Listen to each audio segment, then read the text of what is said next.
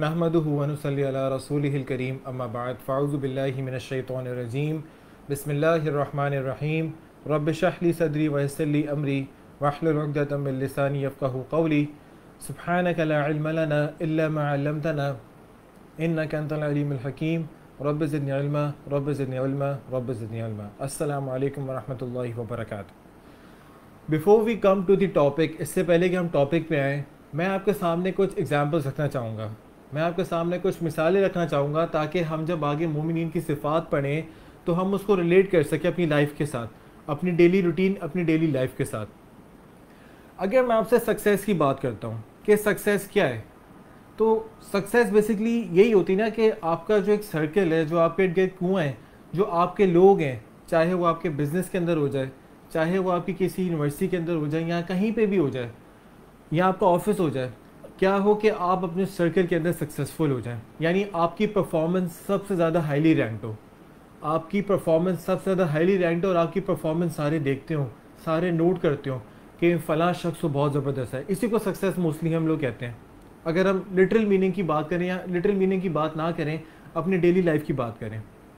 इसी तरह, अगर मैं आपसे ये कहता हूँ कि अगर मैं किसी स्कूल की बात करूँ या किसी कॉलेज की बात करूँ तो एक स्टूडेंट के लिए सक्सेस क्या है? एक स्टूडेंट के लिए यही सक्सेस ना सक्सेस है कि उसकी जो ग्रेड्स हैं, वो सबसे ज़्यादा हों कॉलेज के अंदर। उसके जो मार्क्स हैं, वो सबसे ज़्यादा हों।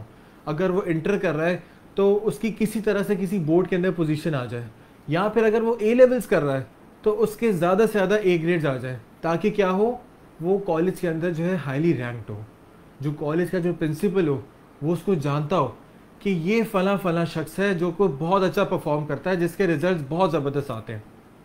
इसी तरह, अगर मैं किसी कॉलेज की बात करता हूँ, कि अगर मैं किसी ऑफ़िस की बात करता हूँ तो ऑफ़िस के अंदर भी एग्जैक्टली यही है कि हर एम्प्लॉय की ज़्यादा से ज़्यादा कोशिश होती है कि उसकी परफॉर्मेंस बाकी एम्प्लॉय से बहुत ज़्यादा हो। और क्यों ज़्यादा हो? सारे अच्छा परफॉर्म करना क्यों चाहते हैं? ताकि जो उसका बॉस हो, वो अपने बॉस की नज़रों में आए। वो बॉस जानता हो कि सौ एम्प्लॉयज़ रखे हुए मैंने, या सौ लोग हैं मेरे पास, लेकिन ये जो ये वाला मेरा एम्प्लॉय सबसे ख़ास है मेरे लिए। इसकी परफॉर्मेंस सबसे ज़्यादा अच्छी होती है। या एक यूनिवर्सिटी का डीन जानता हो कि ये जो फ़ला फ़ला मेरा स्टूडेंट है, हमारी यूनिवर्सिटी के अंदर जो फ़ला स्टूडेंट है, इसकी ग्रेड सबसे अच्छे आते हैं, इसकी सी जी पे सबसे अच्छी आती है। तो क्या होगा, जितनी जो टॉप टीयर होगी, वो आपको जानती होगी कि ये जो है एक सक्सेसफुल शख्स है। ये क्या है? सक्सेसफुल शख्स है। ये इसकी परफॉर्मेंस बहुत ज़बरदस्त है। ये बाकी सबसे अलग है। जैसे बाकी परफॉर्म करते हैं, वैसा परफॉर्म नहीं करता। उससे ज़्यादा अच्छा परफॉर्म करता है। इसी तरह, अगर मैं यहाँ पे अल्लाह की बात करूँ, कि अगर अल्लाह कहे कि एक तो नॉर्मल लोग हैं, लेकिन अगर अल्लाह कुछ ऐसे लोगों की सिफात बयान करे जो कि सक्सेसफुल हैं अल्लाह के नज़ीक अल्लाह कुरान में कहता है, क़द अफलामिन के बेशक फ़ला पा गया वो मोमिन पहले तो अल्लाह कुरान में कोई भी बात कहे तो उस पर कोई डाउट है ही नहीं।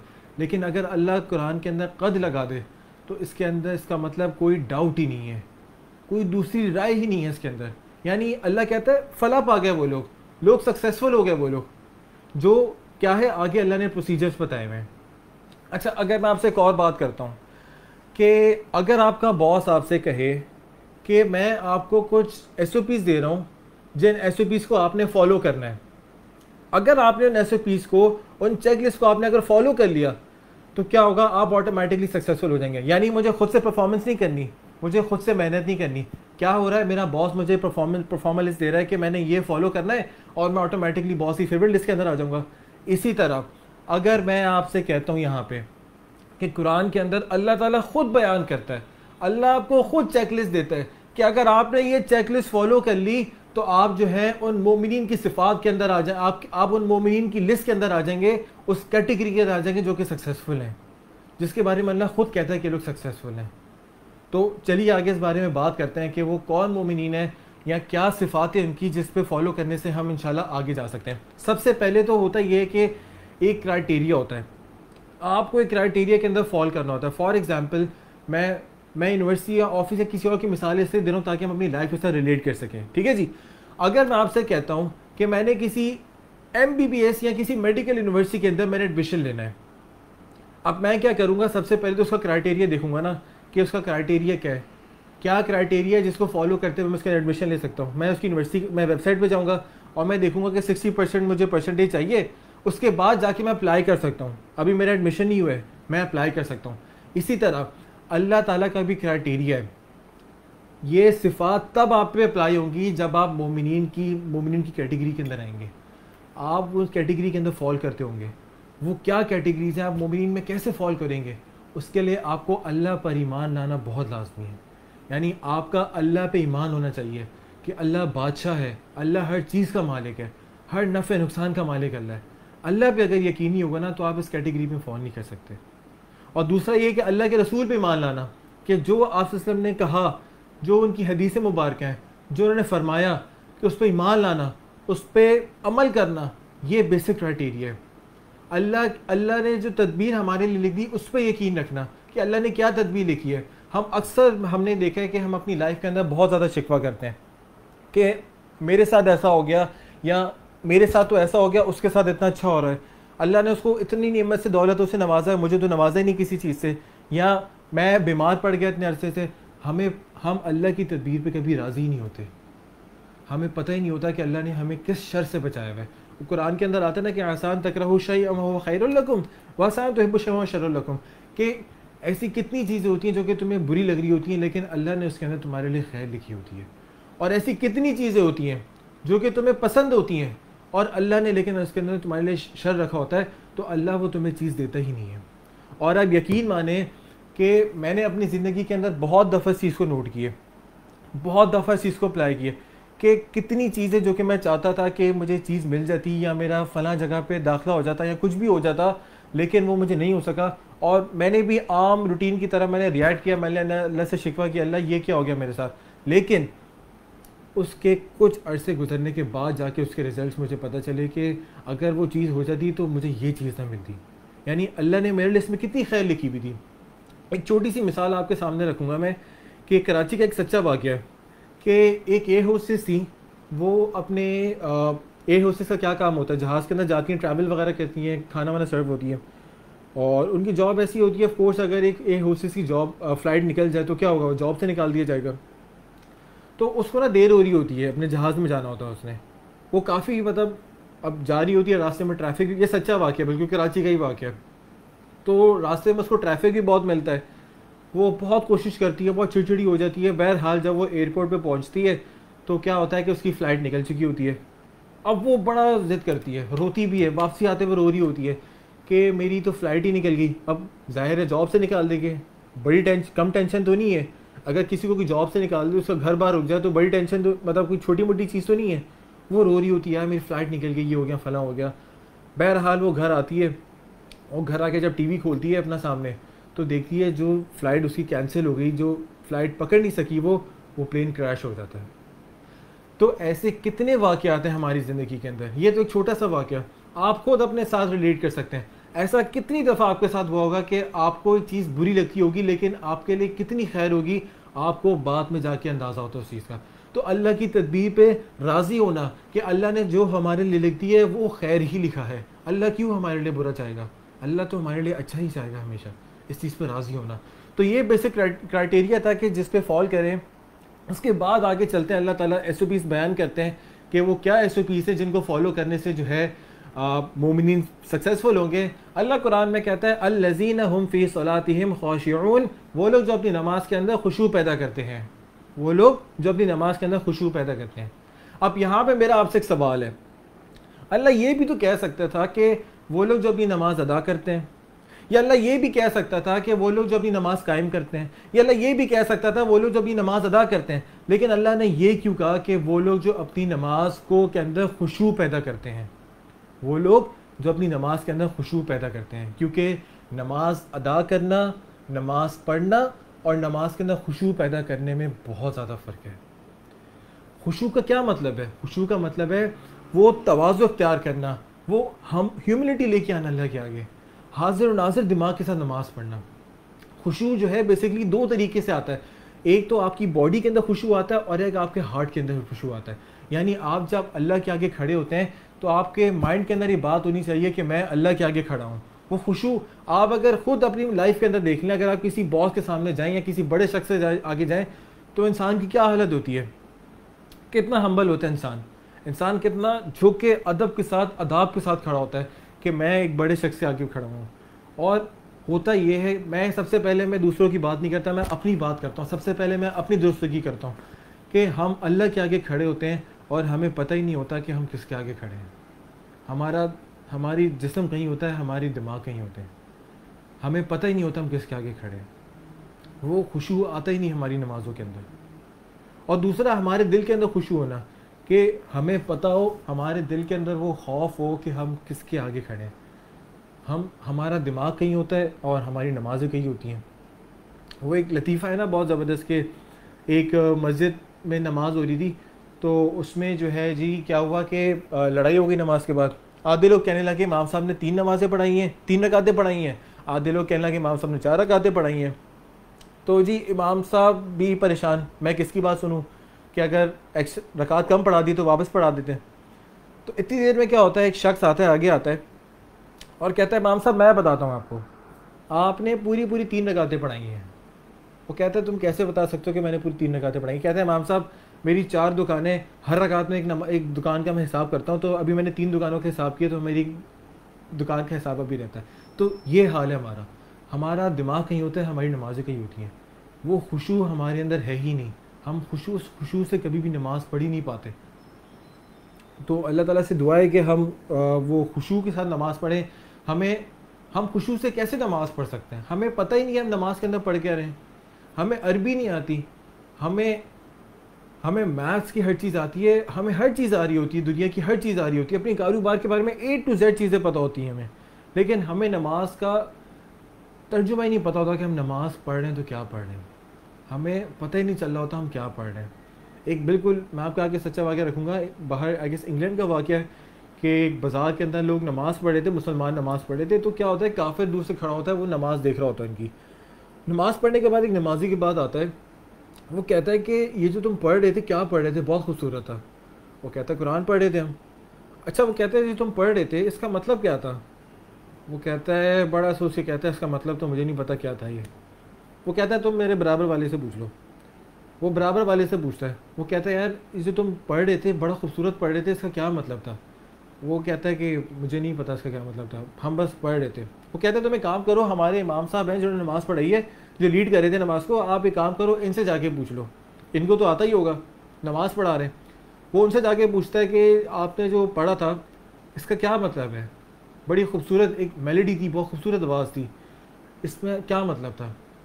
वो भी आगे से वही जवाब कह देते हैं कि जी, मुझे तो नहीं पता क्या मतलब था। हमने बस पढ़ा हुआ बचपन से पढ़ते आ रहे हैं और जो है वैसे ही हमने पढ़ लिया था। तो हमें अपनी नमाज़ों की ट्रांसलेशन ही नहीं पता। हमें यही नहीं पता अल्लाह कुरान में क्या फरमा रहा है। तो बहुत अच्छा मौका है। रमज़ान है, आखिरी दस दिन है। एटलीस्ट एटलीस्ट आप ये कर सकते हैं कि आप अपनी नमाज़ की ट्रांसलेशन तो याद कर सकते हैं। आप ये तो समझ सकते हैं कि जो हम नमाज़ पढ़ रहे हैं, हम उसमें क्या पढ़ रहे हैं। ट्रांसलेशन याद कर लें। हमारे अगर किसी को शौक़ है तो हमारे दो कोर्सेज हैं मदरार इंस्टीट्यूट के, एक हमारा कुरान के एप्लीकेटिव अरबिक है, जो कि अभी चल रहा है, जिसकी वजह से दो क्लासेस लगी हैं, अगर आप चाहें तो अभी भी ज्वाइन कर सकते हैं, जिसके अंदर दस घंटे के अंदर आपको एटलीस्ट सिक्सटी परसेंट जो है कुरान की ट्रांसलेशन सॉल्व करना सिखाया जाता है। आप वो भी ज्वाइन कर सकते हैं। उसके अलावा हमारा एक कोर्स है सफ़ा जो कि जिसकी कैंपेन स्टार्ट हो गई है, आप वो भी ज्वाइन कर सकते हैं। उसके अंदर अरबिक वगैरह उसूल फ़िक उसूल हदीस हर चीज़ कवर की जाती है डिटेल के अंदर, आप वो भी पढ़ सकते हैं। तो उसमें क्या होगा? आपको फ़ायदा होगा। फर्दर आपकी इन ताला इन्हांसमेंट होगी। तो नमाज़ को ट्रांसलेशन से पढ़िए। समझें, अल्लाह क्या कह रहा है? हम तरावी में पढ़े होते हैं। मैं सबसे पहले अपनी बात करता हूँ बार बार कि हमारी नमाज़ों में क्या खुशू होता है? कोई खुशू नहीं होता। दो दो घंटे की तरावियाँ पढ़ते हैं, लेकिन हमें पता ही नहीं होता कि अल्लाह ताला क्या फरमा रहा है कुरान के अंदर। या क्या बात चल रही है? सिर्फ़ इमाम साहब रो रहे होते हैं जिनको कुरान आ रहा होता है। तो सबसे पहले तुम क्या करें कि नमाज़ों में खुशबू पैदा करें। ट्रांसलेशन से पढ़ें। अच्छा मेरे उस्ताद हुआ करते थे जब मैं हिफ्स कर रहा था मदरसे के अंदर तो उस्ताद ने बड़ा अच्छा तरीका बताया था हमारे कायद साहब ने। उन्होंने बताया था कि आप जब भी नमाज़ के लिए जाएँ, पहले तो कोशिश करें कि आपकी नमाज़ हमेशा जमात के साथ हो। फिर उन्होंने कहा था कि आप जब भी नमाज़ के लिए जमात से जाएँ, आप कोशिश करें एटलीस्ट आप दस मिनट का वक्फ़ा निकाल के जाएँ। आप दस मिनट का वक्फ़ा निकाल के जाएँ और आप सुन्नतें पढ़ें। सुन्नतें वो कहते हैं बेसिकली वार्म अप होती हैं आपकी। जो आपकी फ़र्ज़ नमाज़ होती है, सुन्नतें आपकी नमाज़ की वार्म अप होती हैं। आप अगर दस मिनट पहले जाएँगे, पंद्रह मिनट पहले जाएँगे और सुन्नतें पढ़ेंगे। और फिर सुन्नतें पढ़ने के बाद जब आदमी दुआ माँगता है और जब उसको एक थोड़ा सा फील होता है कि वो अब अल्लाह के आगे पेश होने जा रहा है, वो अल्लाह के आगे खड़े होने जा रहा है तो ऑटोमेटिकली उसके दिल के अंदर वो नरमी आ जाती है, वो खुशू आ जाता है, एक एहसास आ जाता है उसके दिल के अंदर कि मैं वाकई अब अल्लाह के आगे खड़े होने जा रहा हूँ। तो मेरे दिल के अंदर जो है सारी चीज़ें हटनी चाहिए और मेरा टोटल फोकस जो है अल्लाह की नमाज़ के ऊपर होना चाहिए। तो एक बहुत अच्छा फॉर्मूला था, आप भी इसको अप्लाई कर सकते हैं। अगर तो औरतें जो घर में नमाज़ पढ़ी हैं, वो अप्लाई कर सकती हैं, जो लड़के वगैरह घर में नमाज़ पढ़ें जमात के साथ पढ़ते हैं, वो चीज़ को अप्लाई कर सकते हैं। तो ये था बेसिकली छोटा सा एक ट्रस्ट के अल्लाह जीना हम फ़ीसलातीम ख़ुशन के, वो लोग जो अपनी नमाज़ के अंदर खुशबू पैदा करते हैं। उसके आगे अल्लाह फरमाता है वल लजीन मौरिजून वो लोग जो फजूल बातों से गुरेज करते हैं। वो लोग जो फजूल बातों से गुरेज करते हैं। हम बैठे रहते हैं पूरा पूरा दिन बैठे रहते हैं दोस्तों के साथ। पूरा पूरा दिन बैठ के गप्पे मारते रहते हैं, चाय के होटलों पे बैठे रहते हैं, चैटिंग करते रहते हैं। फजूल की बातें चल रही होती हैं। अच्छा अगर आप किसी से कहें ना कि भाई आप ये जो इतनी फजूल की बातें कर रहे हैं, चाय के होटल पर बैठ के बात कर रहे हैं, वो कहते हैं, जी, हम स्टार्टअप्स की बात कर रहे हैं। अच्छा जी स्टार्टअप्स की बात कर रहे हैं। कितने स्टार्टअप्स हो गए? आज तक मैंने तो एक भी चाय के होटल पे बैठ के स्टार्टअप नहीं देखा कि कितने स्टार्टअप हो चुके हैं। फजूल की बातें चल रही होती हैं बस। ये कर लेते हैं, वो कर लेते हैं। पाँच दोस्त क्या होता है, पाँच दोस्त मिलते हैं, एक दोस्त का मज़ाक उड़ाते हैं। दो दोस्त मिलते हैं, एक दोस्त का मिलकर मज़ाक उड़ाते हैं, यही चल रहा होता है बस। और क्या होता है? अल्लाह कहते हैं, वल्लजीन मन लगे मौरिजून वो लोग जो फजूल बातों से ग्रेज करते हैं। आप सबने कहा तो मुझे दो चीज़ों की ज़मानत दे दो, मैं तुम्हें जन्नत की बशारत दे दूँगा। एक है ज़बान और एक है तुम्हारी शर्मगा ये दो एक ऐसी चीज़ें हैं कि इन दो चीज़ों को इंसान अगर कंट्रोल कर लेना अपने पास तो अल्लाह ने उसको जन्नत की बशारत दी है। क्योंकि आदमी के 80 परसेंट जो गुनाह है, वो होते सारे ज़बान से हैं। आदमी गाली ज़बान से देता है, आदमी गीबत ज़बान से करता है, आदमी झूठ ज़बान से बोलता है, आदमी गादम गलोच ज़बान से करता है, सारे गुनाह ज़्यादातर ज़बान से होते हैं। क्या फजूल बोलने से गुनाह वगैरह होते हैं? तो अगर इंसान अपनी ज़बान को काबू कर ले, आप में क्या कर झरने में सबसे ज़्यादा औरतें होंगी? क्यों होंगी? क्योंकि उनकी ज़बान की वजह से होंगी। उनकी ज़बान होती है, जो गॉसिपिंग करना, उधर की बात इधर करना, इधर की बात उधर करना, बिला वजह की बातें घुमाना मार्केट के अंदर और फालतू की बातें करना, बस अनप्रोडक्टिव बातें करना, ये सारे क्या है हमारे ज़बान की गुनाह तो अगर हम इस चीज़ को काबू कर लें तो हम बहुत अच्छा बहुत आगे जा सकते हैं। और मैंने देखा इंसान की रिस्पेक्ट भी तब होती है जो कम बोलता है। जो बिला वजह का फालतू का बटर बटर बोलता रहता है, उसकी रिस्पेक्ट भी कम होती है। आप खुद इसको अप्लाई करके देख लें। आप किसी नई महफिल में जाएँ, आप कम बोलें प्रोडक्टिव बोलें। आप अपनी रिस्पेक्ट देखिएगा, कितनी रिस्पेक्ट होगी आपकी सबके बीच में। वो अलग होता है। कुछ मकाम होते हैं जहाँ पे इंसान को ज़्यादा बोलना पड़ता है, लेकिन बेहतर ये रहता है कि इंसान कम बोले और प्रोडक्टिव बोले, काम की बातें बोले। और एक और चीज़ मैं यहाँ पे ऐड करना चाहूँगा कि जो यहाँ पे इंसान की ज़िंदगी के अंदर विज़न का होना बहुत लाजमी है। क्योंकि अगर आपकी ज़िंदगी के अंदर विज़न नहीं है ना तो यही होगा कि आप कभी इधर चाय के होटल में मिलेंगे, कभी आप उधर दोस्तों की, यारों की गैदरिंग्स में मिलेंगे, कभी कुछ होगा, कभी कुछ होगा। क्यों? क्योंकि आपकी लाइफ में विज़न नहीं होगा। आपकी लाइफ में कोई गोल ही सेट नहीं है। अगर आपकी लाइफ के अंदर कोई गोल सेट होगा फॉर एग्ज़ाम्पल मैं कहता हूँ, ये मेरा गोल है और यहाँ से मैं स्टार्ट लूँगा। अब मैंने क्या करना है? मैंने यहाँ से स्टार्ट लेना शुरू करना है और मुझे अपना प्रोसेस पता होना चाहिए कि मैंने अगर अपने गोल तक अगर पहुँचना है, कोई भी गोल हो सकता है। अगर आपका दुनियावी गोल भी हो सकता है, अगर आपने कुछ बनना है, आपने स्टीव जॉब्स बनना है, आपने सक्सेसफुल बिजनेसमैन बनना है, आपने डॉक्टर बनना है, कुछ भी बनना है, वो भी हो सकता है। आपका आखिरत का गोल भी है। मैं जनरल विजन की बात कर रहा हूँ। आपका आखिरत का भी गोल हो सकता है कि जी, मेरा गोल जो है जन्नत है, मेरा विजन जो है जन्नत है और ये मेरा प्रोसीजर है आपको पता होना चाहिए कि आपको अपने इस गोल तक पहुँचने के लिए क्या आपने पाथवे चूज़ करना है, आपने क्या रास्ता सेलेक्ट करना है हुँ? हम्म? क्या स्टेप्स आपने उठाने हैं तो अगर आपकी लाइफ के अंदर गोल होगा, आपकी लाइफ के अंदर विजन होगा, आप उन स्टेप्स को ईजिली फॉलो करते करते वहाँ पहुँच जाएँगे लेकिन अगर यही बातें आप फजूल बातों में गुजारेंगे आप फजूल गैदरिंग्स में गुजारेंगे, फजूल दोस्त बनाएँगे तो वही होगा, आप ट्रैक से हट जाएँगे। विजन क्या अलग? आप निकल गए अपने दोस्तों में, आप फजूल बातों में निकल गए, फजूल जगहों में निकल गए। तो ये होता है। इसीलिए लाइफ के अंदर कहते हैं कि विजन का होना बहुत लाजमी है। एक विजन बनाए, एक गोल बनाए। एटलीस्ट एटलीस्ट सत्रह साल, अठारह साल की उम्र के अंदर तो इंसान का गोल बन जाना चाहिए कि मैंने अब आगे लाइफ के अंदर क्या करना है। उससे पहले एक्सपेरिमेंट कर रहा होता है इंसान। इंसान अपने बड़ों से पूछे, अपने मेंटों से पूछे कि मैंने अगर विजन बनाना है, मैं क्या बनाऊँ? सबसे डिस्कस करे, जो उसने बनना है, उसके एक्सपर्ट से बात करके देखे। लेकिन क्या कहने विजन लाजमी बनाए अपनी लाइफ के अंदर, ताकि वो इजीली उस पर जा सके। तो ये था बेसिकली वल्लजीन हमारे मौरिजून, वो लोग जो फजूल बातों से ग्रेस करते हैं। अच्छा उसके बाद अल्लाह फरमाता है वल लजीन हम ज़क़ात फ़ाइलून, वो लोग जो ज़क़़त अदा करते हैं। ज़क़़त के बारे में हम सबको पता है कि ज़क़़त फ़र्ज़ है, साल में एक दफ़ा देनी है। लेकिन अच्छा मैंने कितने ऐसे लोग देखे हैं जो कि अरब अरबपति हैं लेकिन ज़क़़त नहीं देते? और मैंने ऐसे कितने ऐसे लोग देखे हैं जो कि जिन पर जस ज़क़़त आई होती है और लेकिन वो इतनी पाबंदी के साथ ज़क़़त देते हैं, जिस तरह वो नमाज़ पढ़ते हैं ना पाँच वक्त की जमात के साथ, इसी पाबंदी के साथ वो ज़क़़त भी देते हैं। उसकी क्या वजह? है उसकी मैंने बहुत सोचा कि मतलब एक आदमी के पास इतना माल है, वो ज़क़़त ही नहीं दे रहा। और एक आदमी के पास माल है, कम माल है, लेकिन वो अपनी ज़क़़त पाबंदी के साथ दे रहा है। तो मैंने अपने एक उस्ताद के साथ डिस्कस किया कि क्या वजह है? ऐसी क्या वजह है? एक आदमी एक अरब रुपये वो ढाई करोड़ रुपये जक़ात नहीं दे सकता। तो उन्होंने मुझे समझाया कि ज़क़़त का ताल्लुक़ आपके अल्लाह के गैब पर यकीन के साथ है। आपका जितना ज़्यादा अल्लाह पर यकीन होगा, अल्लाह पर गैब के यकीन होगा, उतना ज़्यादा पाबंदी के साथ ज़क़़त देता है। क्योंकि ज़क़़त एक ऐसा अमल है जिसका ताल्लुक़ सिर्फ़ इंसान और उसके रब के साथ होता है। आप नमाज़ पढ़ते हैं, नमाज़ आपके सब घर वाले देखते हैं, भाई ये शख्स नमाज़ पढ़ रहा है, आपको पढ़नी पढ़नी है। ठीक है जी, मस्जिद वाले पूछते हैं, आप नमाज़ के लिए नहीं आ रहे, ऑफ़िस वाले पूछते हैं, आप नमाज़ नहीं पढ़ रहे। आप रोज़ा रखना है आपने सबको पता है जी, घर में सबको पता है आप रोज़ा रख रहे हैं। ठीक है जी, और अगर आपने हज करना है, सबको पता है आप हज कर रहे हैं, आपने करना ही करना है हज, आप जितना मर्ज़ी छुपा लें, आप छुपा ही नहीं सकते कि आपने हज किया है। लेकिन, अगर आपने ज़क़़त देनी है तो किसी को नहीं पता चलना आपने ज़क़़त दी हुई है। क्योंकि वो ताल्लुक़ सिर्फ़ आपका और आपके रब के साथ होता है। ये ताल्लुक़ आपका जितना ज़्यादा स्ट्रॉन्ग होगा अपना अल्लाह के साथ, उतनी ज़्यादा पाबंदी के साथ इंसान ज़क़़त देता है। अभी रमज़ान का बहुत अच्छा मौका है। अगर किसी ने ज़क़़त नहीं निकाली तो वो ज़क़़त निकाल सकता है। ज़्यादा वैसे तो आप ज़क़़त कभी भी निकाल सकते हैं साल के अंदर, लेकिन ज़्यादातर लोग प्रेफर करते हैं कि रमज़ानों में ज़क़़त निकाली जाए। तो कोशिश करें इस वक्त अपने इस टाइम के अंदर अपनी ज़क़़त कैलकुलेट करें। एक्सपर्ट्स के पास जाएँ। आप मिदरार कॉन्टैक्ट कर सकते हैं। अगर आपने, अगर आपका बिज़नेस है, आपको समझ नहीं आ रहा मेरी फ़लाँ प्लॉट है, फ़लाँ चीज़ वगैरह, आप मिदरार के नंबर पर कॉन्टैक्ट कर सकते हैं। हम आपको बताएँगे किस तरह आपकी ज़क़़त क्या बनती है। अपनी ज़क़़त कैलकुलेट करना है प्रॉपर तरीके से और अपनी ज़क़़त को अदा करें। क्योंकि इसके बारे में क़्यामत के दिन सवाल होना है। हदीस में आता है कि अजदे की सूरत में आएगा, क़्यामत के दिन अगर हम अपनी ज़क़़त नहीं देंगे। आपके माल को पाक करता है तो तीसरी से जो अल्लाह बयान करता है, वो ये कहता है कि वल्लजीन हमल ज़क़ाती फ़ाइलून। वो लोग जो ज़क़़त अदा करते हैं। उसके बाद अल्लाह फरमाता है, वल्लजीन हम फ़रूज हम हाफिदून वो लोग जो अपनी शर्म गहों की हिफाजत करते हैं।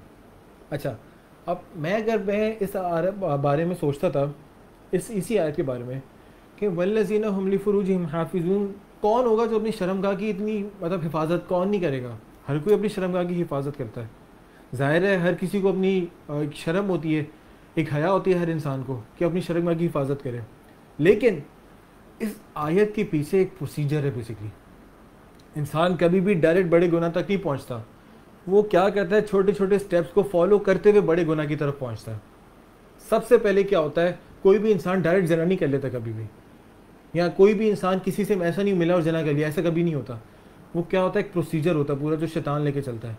सबसे पहले क्या होता है, आपकी मुलाकात होती है किसी से, किसी भी नाम महरम से, या आपकी चैटिंग स्टार्ट होती है। अच्छा चैटिंग भी ज़्यादातर क्या होती है कि आपकी सलाम दुआ से स्टार्ट होती है, किसी गुना की नीयत से स्टार्ट नहीं होती। या अक्सर तो मैंने ऐसी भी देखी हैं जो कि दीन की नीयत से स्टार्ट हो रही होती हैं। हम्म? क्या होता है, आप नाम मैडम से बातें कर रहे हैं, करते करते पहले क्या होता है, आप थोड़ी बहुत बातें करते हैं।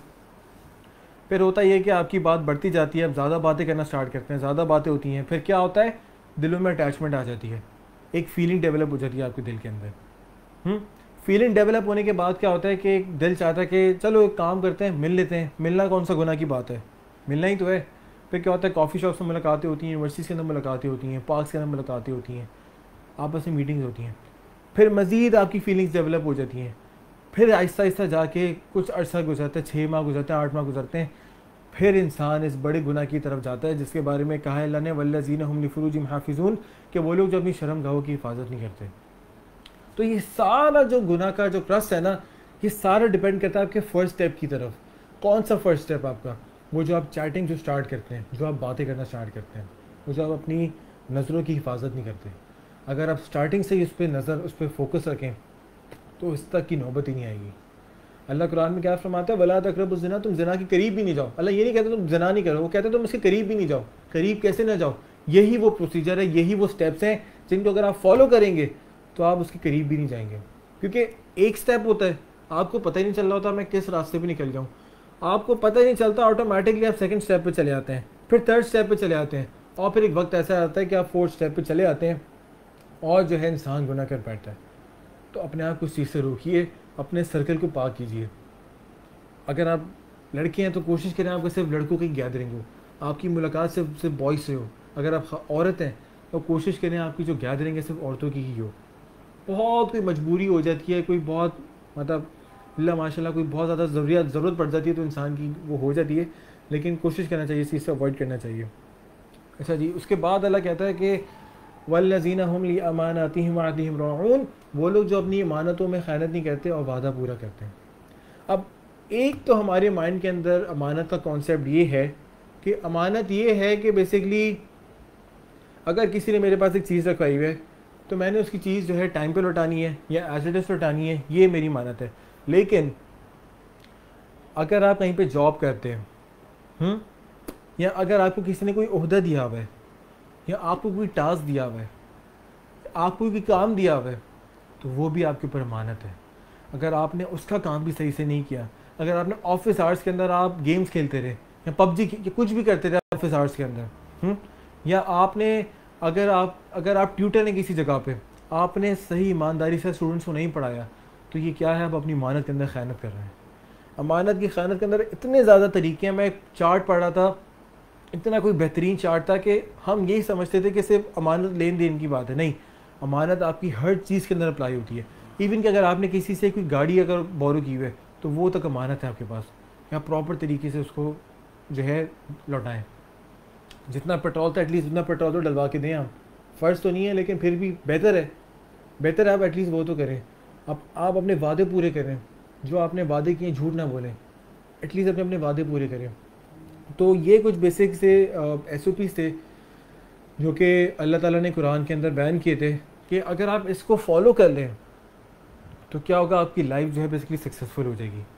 आप इन ताला कामयाबी की तरफ़ जाएँगे, और ये वो एस हैं जो कि अल्लाह ताला ख़ुद बयान करता है कि तुम बस बंदे इसको फॉलो कर लो और जो है तुम्हारे लिए चीज़ें आसान हो जाएँगी, तुम क्या हो जाओगे सक्सेसफुल हो जाओगे। तो अल्लाह ताला से दुआ है कि जो थोड़ी बहुत जो हमने बातें की अल्लाह ताला उस पर सबसे पहले मुझे अमल करने की तोफ़ी अदा करे उसके बाद जितने हमारे भाई वगैरह सुन रहे हैं उनको आ, अमल करने की तोफ़ी अदा करे। आज वैसे भी ताक रात है बहुत ज़्यादा दुआएँ करेगा अल्लाह ताला से दुआएँ करेगा कि अल्लाह हमें मुमीन की कैटेगरी के अंदर फॉलो करे हमें शामिल करे। हम जो भी उसके प्रोसीजर्स हैं हम उसको प्रॉपर तरीके से फॉलो करें और हमारे जितने गुनाह वगैरह अल्लाह ताला हमें माफ़ करें। सबके लिए दुआ करेगा अल्लाह इस कोरोना को भी हमारे ऊपर से हटा दे जो हमारे ऊपर वबा आई हुई है इसको भी हटा दे। और हमारी तमाम की तमाम मुश्किल को आसान फरमा दे। सुबहानक अल्लाबी हमदी का नशद नस्तक फ़िर व असल वरहमल वर्का